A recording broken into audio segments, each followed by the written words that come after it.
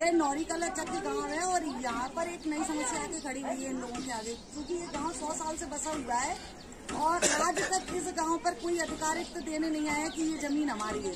अचानक से ये अभी कुछ दिन से कोई व्यक्ति आने लगे और गाँव को साढ़े तीन बीघा के समस्या जानने के बाद हमने इसी वीडियो बनवाया और लोगों से आवेदन लगवाए। एसपी कलेक्टर और जन सुनवाई में भी इनका आवेदन दिया। इसके बाद फिर हमने संबंधित अधिकारी से चर्चा भी हमें। कभी नापा तोली करेगा यार माराई आए और बस नाप तोल गए मुड्डी गाड़े गए। और फिर जमन से जगाड़े रहे बे कि हम दमे टाटते झगड़े झगड़े के हम चल शिकायत करी। करी जे गाँव के गए थे शिकायत करबी तो। पूरे गाँव के? हाँ गए पूरे।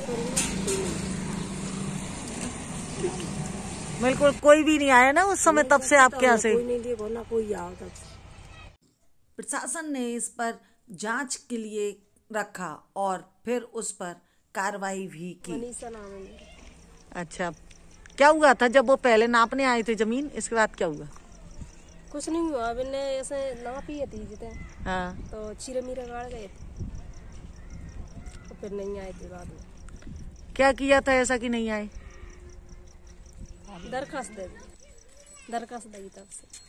अच्छा। जाँच में पता चला कि गाँव का ही कोई व्यक्ति उन लोगों के साथ मिलकर ऐसा करवा रहा था। इसके बाद प्रशासन ने एसडीओपी शिवपुरी के पद पर पदस्थ अधिकारी मेरे संज्ञान में आती है तो निश्चित तौर पर मैं वैधानिक कार्रवाई करूँगा।